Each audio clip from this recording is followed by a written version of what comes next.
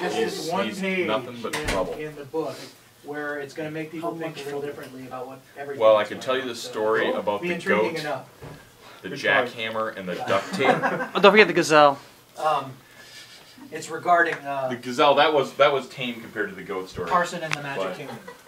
I see. Why he didn't. Why so- he went Alright, I there have to or get back maybe down. not, but So have why fun.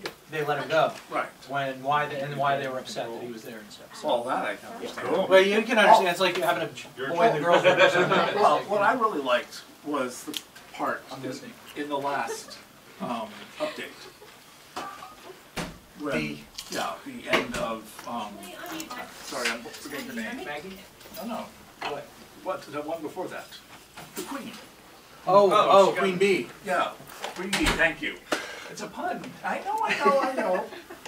Uh, but no, that, that I still was, laugh that you can that was record awesome. Just, hours and uh, hours of video on something as the- smaller than a video stepping cassette. into the I knew what was going on. It hasn't gotten Sure. over. It will eventually. Yeah, That- and that's, it settled the whole, like, okay, is it, is it just a, a- Have a I been ruse that no one camera? put right, now, casters now, we know. Uh, we know for damn certain Whoa.